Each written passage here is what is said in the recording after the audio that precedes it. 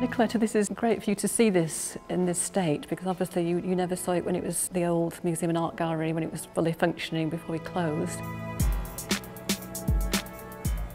This, of course, was the old entrance to the Museum and Art Gallery where everybody would enter.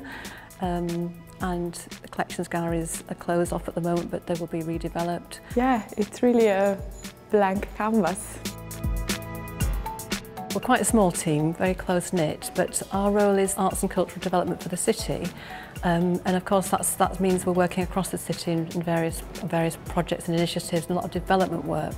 But the box is a key strategic project for the city and we're embedded in that fully as well. So we have sort of a broad remit, but we're very much focusing on the box at the moment. Contemporary art does different things depending to the context that is applied. um, and so that is what really attracted me to this position because um, I think there is so much diversity and potential within the box. Not just because of obviously all the exciting new spaces, which really each of them are so different, ranging from the old building, and we look at this room is absolutely incredible, but all the new uh, building that is being constructed as we speak.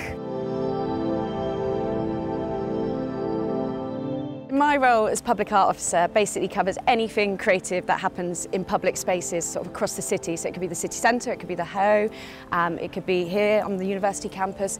So I work across different departments within the council, within planning, different organisations in the city and individual artists to kind of help them realise and, and deliver kind of creative projects in public spaces.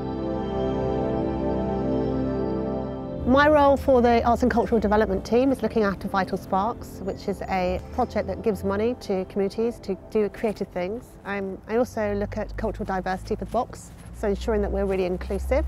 And I'm also looking for communities that do great work and looking for examples of how to work with communities in a really profound way. And one of the projects that I've been working with um, is uh, Mutley Matters, which is part of the Mutley Greenbank Trust. Right.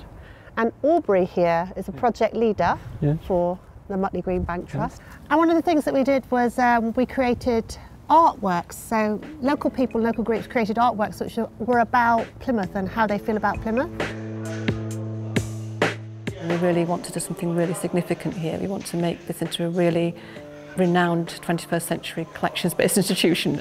And it's a lot to say, but I think for us, that relationship with collections and bringing contemporary practice into that, it's something I've worked on here for 10 years in, in project by project, but this is a moment to, to really come to fruition in a holistic way.